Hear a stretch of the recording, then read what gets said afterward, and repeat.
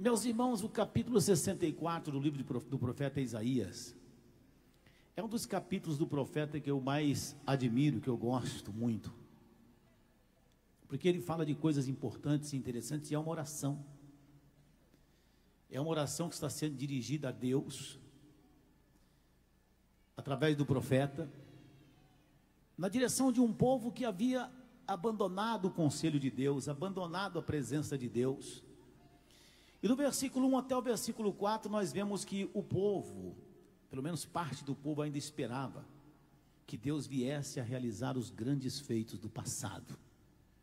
Por isso que a Bíblia fala: se fendesse o céu e descesse, se os montes se escoassem diante da tua face, como quando o fogo inflama a lenha e faz ferver as águas para fazeres notório o teu nome aos teus adversários, assim as nações tremessem da tua presença. Pois a Bíblia fala, quando fazia as coisas terríveis que não esperávamos, descias. Então a gente vê do versículo 1 ao versículo, versículo 4 que existe uma esperança que os grandes feitos de Deus no passado viessem a ser realizados quando o povo estava escravizado. O povo estava vivendo uma vida de injustiças, o povo estava vivendo uma vida de afastamento de Deus. Nós vemos também, meus irmãos, do versículo 5 ao versículo 7. Embora o povo estivesse numa situação complicada, o povo basicamente espera também o perdão de Deus.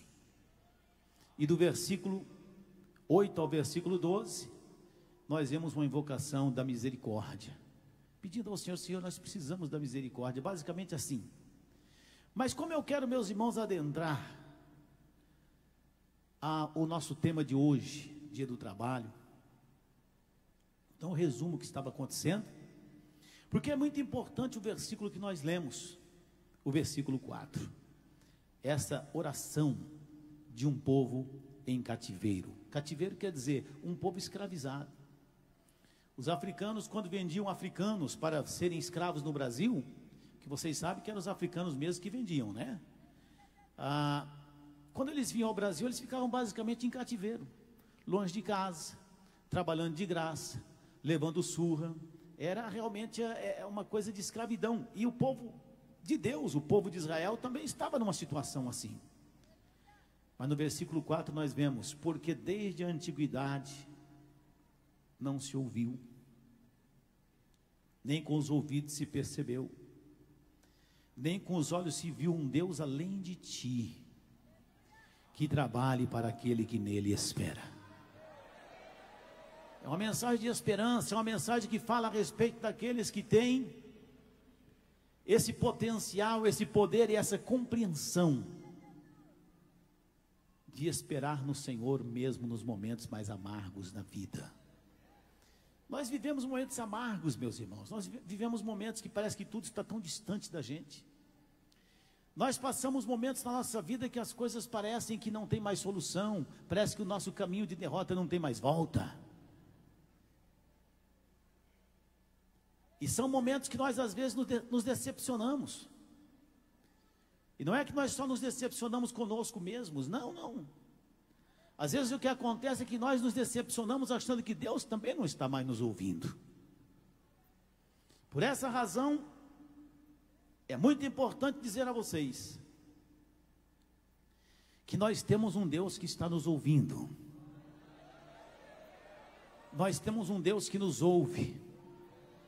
Quando nós somos povo desse Deus, quando nós esperamos nesse Deus. Não é que Deus está ouvindo todo mundo, não. Eu sei que muita gente fala, não, porque o sol nasce para todos, porque Deus, enfim, não, não, não. Deus não está ouvindo todas as pessoas, não. A Bíblia Sagrada é clara quando diz: não há um Deus, não se percebe um Deus, não se vê um Deus, um Deus como o nosso Deus, um Deus além de ti. Um Deus que trabalhe para aquele que nele espera. Se você espera em Deus, pode ter certeza que Deus está trabalhando por você. Deus está trabalhando pela sua vida. Louvado seja Deus, aleluias. Se nós abrirmos a nossa Bíblia no Salmo 40, vocês podem abrir comigo. Nós vamos verificar um versículo conhecidíssimo, mas que tem também a sua profundidade. Esperei com paciência no Senhor, e ele se inclinou para mim e ouviu o meu clamor.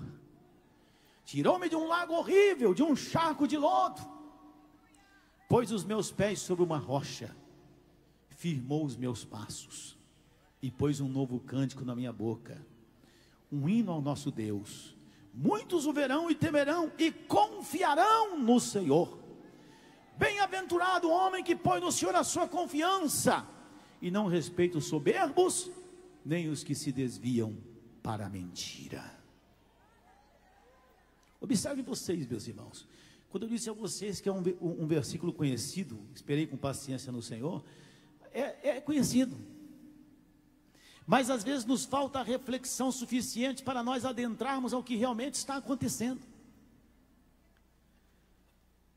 Se o salmista está dizendo, esperei com paciência no Senhor, a palavra paciência já está dizendo que ele poderia ter ficado impaciente. A palavra paciência já está dizendo, nem tudo estava tranquilo. A palavra paciência está dizendo, eu clamei, eu busquei, mas não necessariamente no momento que eu queria a resposta ela veio. Mas eu esperei com paciência. Esperar é uma das coisas mais difíceis que existe na vida. Semana passada eu fui, meus irmãos, a uma consulta médica, inclusive não estive aqui na quarta-feira passada. Eu estou sofrendo um refluxo que às vezes me dá soluços, que eu fico dois, três dias soluçando. Então, um dia ou outro, até que eu esteja completamente curado, é evidente que eu não vou poder estar aqui. E sei que a igreja vai orar por mim e Deus já está dando a vitória, não é verdade? Porque esse, esse soluço, esse refluxo é uma coisa muito ruim. Tem dia que você está falando, sobe gases e não é brincadeira. Muitos irmãos já perceberam que às vezes eu paro, até no programa de rádio, às vezes dou uma paradinha, porque é uma coisa que 40% dos brasileiros têm mas como eu já estou há mais de 20 anos tentando me livrar disso, chega uma hora que a coisa toma um, um, uma posição um pouco diferenciada. E eu fui ao médico fazer uma consulta. O médico marcou a consulta para as três e meia da tarde. Eu fui atendido quase seis. Meus irmãos, esperar não é brincadeira. O médico passou várias vezes na minha frente. Eu sabia que ele estava lá. Ele sabia que eu estava lá. Eu fiz o cadastro, fiz o registro. Então eu sabia que ele estava lá e a qualquer momento ele iria me atender. Eu fico imaginando quando nós estamos diante de uma situação complicada na nossa vida e nós clamamos, Senhor, eu preciso do Senhor agora. O ser humano tem uma questão que lhe é particular, ele é imediatista. Ele quer tudo na mesma hora. O ser humano não quer ter nenhum tipo de sofrimento. O ser humano não quer passar nenhum tipo de dor, e eu acho que isso é excelente. Eu também não quero, ninguém quer, somos seres humanos. Mas quando nós clamamos a Deus e nós não estamos às vezes vendo Deus, não é que Deus está passando na nossa frente no consultório onde nós estamos, não. E nós temos de esperar o tempo de Deus. Se nós não tivermos paciência, meus irmãos, nós vamos cometer erros grosseiros e vamos acabar fazendo coisas que não são agradáveis ao Senhor. Quando o salmista diz: Esperei com paciência no Senhor, ele está dizendo: O Senhor não me respondeu no momento que eu clamei. Mas depois de ter paciência, ele se inclinou para mim e ouviu o meu clamor. Quando o Senhor ouviu o meu clamor, eu já estava num lago horrível, num charco de lodo. Mas o Senhor me tirou de lá, o Senhor me tirou do lago horrível, me tirou do charco de lodo, pôs os meus pés sobre uma rocha e firmou os meus passos e colocou na minha boca um novo cântico. Esperei com paciência no Senhor. Por isso que a Bíblia Sagrada está dizendo nunca.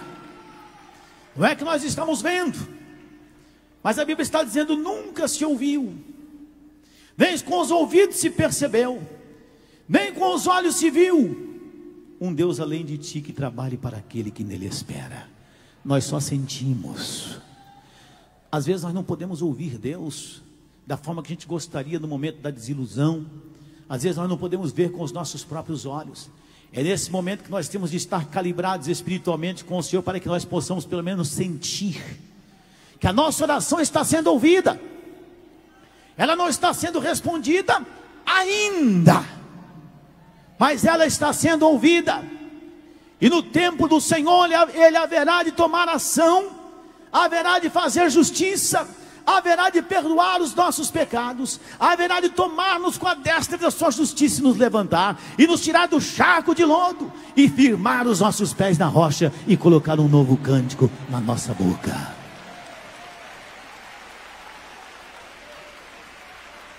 Meus irmãos, quando nós estamos clamando a Deus, Deus talvez não esteja agindo diretamente na gente ainda. Mas a Bíblia Sagrada diz que Deus está trabalhando em favor daquele que tem esperança. Deus está ouvindo a sua oração e você não conseguiu a resposta ainda. Mas Deus está se mobilizando. Deus está agindo. Deus está trabalhando. O trabalhar do Senhor é uma coisa tremenda. Deus está trabalhando em favor da sua vida. Deus está trabalhando em favor da sua casa. Deus está trabalhando em favor do seu sucesso. Deus está trabalhando em favor da sua prosperidade. Irmão Lodival, nesse momento está tudo ruim para mim. Eu não consigo ver nada dar certo. Eu não consigo ver a minha vida próspera. Calma, continue clamando. Espere com paciência, porque Deus está trabalhando. Deus está trabalhando. Mas, irmão Lorival, eu não consigo ouvir, eu não consigo perceber com os meus ouvidos, eu não consigo ver com os meus olhos. Não tem problema, você consegue sentir pelo Espírito de Deus que Deus está trabalhando, Deus está trabalhando na sua causa.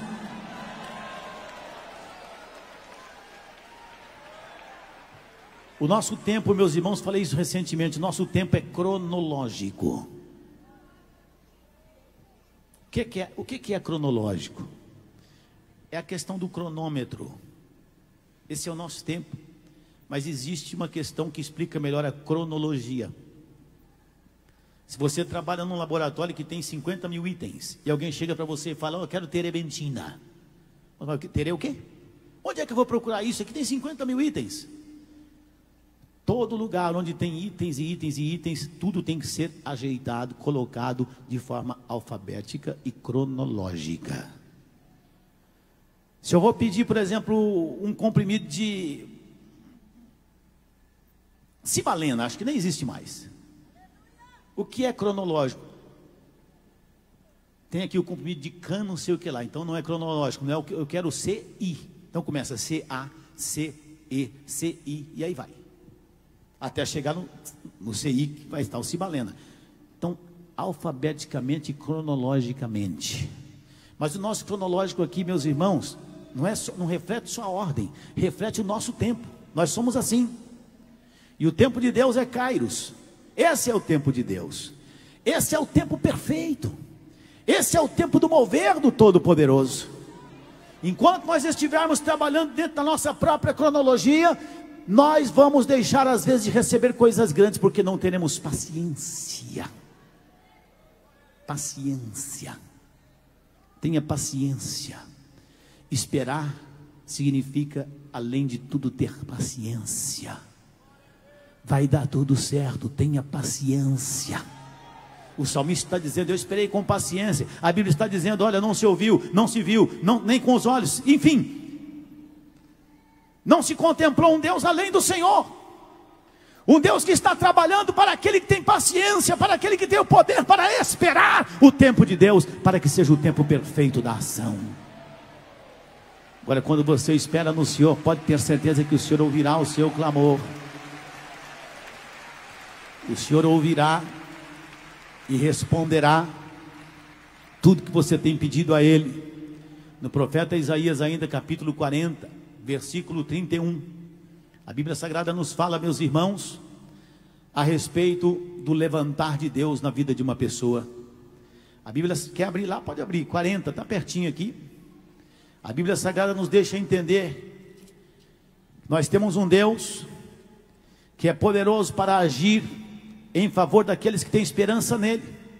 Alguns esperam em carros e em cavalos, alguns esperam em governos, Alguns esperam, enfim, coisas que não são dignas de confiança para nós depositarmos a nossa esperança. Algumas pessoas depositam a sua esperança e a sua confiança no dinheiro, mas não vai dar certo. Nós devemos colocar nossa esperança no Senhor. No versículo 31 do capítulo 40 do profeta Isaías, mas os que esperam no Senhor renovarão as suas forças. Posso ler até alguns versículos antes.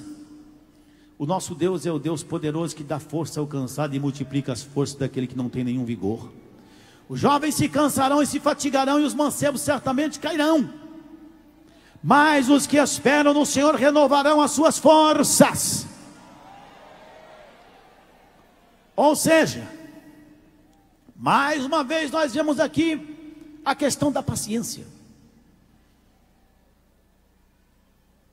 Ter as forças renovadas significa que de alguma maneira já lhes faltava força.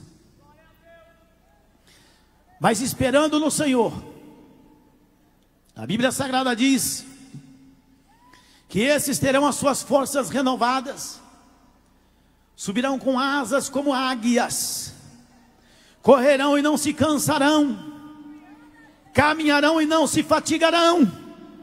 Esperar no Senhor é a solução para as mazelas da vida. Esperar no Senhor é tudo que nós precisamos. Espera com paciência, com confiança, porque o Senhor está te ouvindo e o Senhor não te abandonará. Ele renovará as suas forças e você vai subir como uma águia. A águia, meus irmãos, ela tem uma, uma, um processo de renovação muito interessante. A águia, ela nasce, ela fica grande, pode alcançar até 70 quilos. Ah, numa certa ocasião, fui com minha família a um parque de observação de águia. A águia chamada águia careca. E é realmente fenomenal.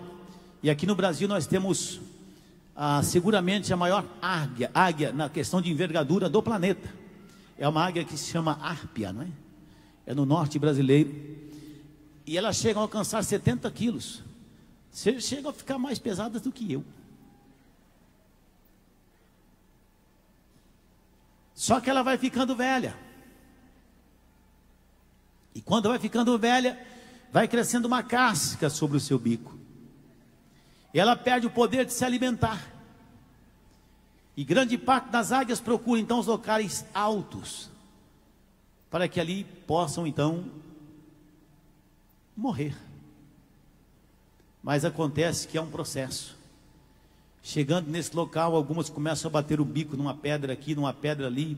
Às vezes são ajudadas por pessoas que são praticantes desse tipo de, de preservação da, da, da, das aves. E alguém bate com uma pedra e vai caindo a casca do bico dessa águia. Vai caindo casca, casca, casca, e logo, logo ela começa a abrir a boca, pega um ratinho ali, pega outro ratinho ali, e ela se fortalece muito mais do que, se, do que era forte antes. E aí ela sobe. É essa renovação que Deus está falando. Às vezes nós nos tornamos, tornamos crentes cascudos. Nós achamos que nós vamos morrer já porque nós não podemos mais nos alimentar. Mas se nós tivermos a confiança, a esperança no Senhor, a Bíblia está dizendo que o Senhor vai renovar as nossas forças e nós vamos subir como águias. Essas águias já não mais vão ficar no topo da montanha esperando a morte. Elas vão subir, vão galgar as maiores alturas e vão enxergar mais longe. Vocês sabem que uma águia pode enxergar a 1.500 metros de, de, de distância um ratinho pequenininho. Imagine vocês um bezerro, imagine vocês um animal maior. Certamente esses animais vão se tornar cada vez mais fortes. É a renovação que Deus dá para você. Deixa Deus quebrar o seu bico, crente bicudo. Deixa Deus quebrar a casca do seu bico, para que você possa se alimentar e para que você possa ter a sua vida renovada e fortalecida pelo Senhor. Aí você vai correr e não vai se cansar. Aí você vai caminhar e não vai se fatigar, porque certamente a renovação que aconteceu na sua vida é a renovação que vem de Deus. Aí nada pode deter você, crente, paciente. Tem muita gente muito nervosa quando se trata das coisas de Deus, quer tudo para ontem. Calma, vamos com paciência. Pode ficar tranquilo que Deus está te ouvindo. E Deus está dizendo: Eu tenho trabalhado em seu favor. A Bíblia está dizendo: não se percebeu, não se viu. Um Deus como o Senhor, um Deus que trabalha para aquele que está em oração, um Deus que trabalha para aquele que continua confiado nele, um Deus que trabalha para aquele que tem paciência, sabendo que Deus está trabalhando e que Deus haverá no seu tempo de agir. Tem um tempo para todos os propósitos debaixo do sol, nos diz o pregador no capítulo 3 de Eclesiastes. Certamente existe o tempo da sua petição e também existe o tempo da resposta de Deus. Pode confiar que Deus está te ouvindo. Pode confiar que Deus está ouvindo o seu clamor. Irmão Lorival, Deus está ouvindo o meu clamor também? Bom, vamos, vamos ver. Vamos meditar. Você espera no Senhor. Você é de Deus. A sua vida está na mão de Deus. Você é uma pessoa que pratica a palavra de Deus. Uma pessoa que ama a justiça. Uma pessoa que se desvia do mal, se desvia do pecado. Você é uma pessoa que busca a Deus. Se você é, pode ter certeza que por mais que você esteja numa situação aparentemente de decadência, quando Deus te levantar, as pessoas vão te admirar do levantar de Deus na sua vida. Deus haverá de colocar os seus adversários debaixo dos seus pés. Se você invoca a presença de Deus, pode ter certeza que Deus está ouvindo você. Se você é de Deus, se você se propôs a servir a Deus, mas irmão Lorival, eu me propus a servir ao Senhor, mas minha, minha vida está uma miséria só. Calma! Espera com paciência, porque Deus está arquitetando o melhor que Ele pode para você. E o melhor de Deus é muito melhor do que o nosso melhor. Agora, Senhor, Tu és o nosso Senhor o nosso Pai. Nós somos o barro. Deixa Deus fazer você vaso. É, vazão. Não é que estão falando agora? Terra, né? É terra. Esses dias chamaram minha esposa de brasa. Eu falei, eu, hein?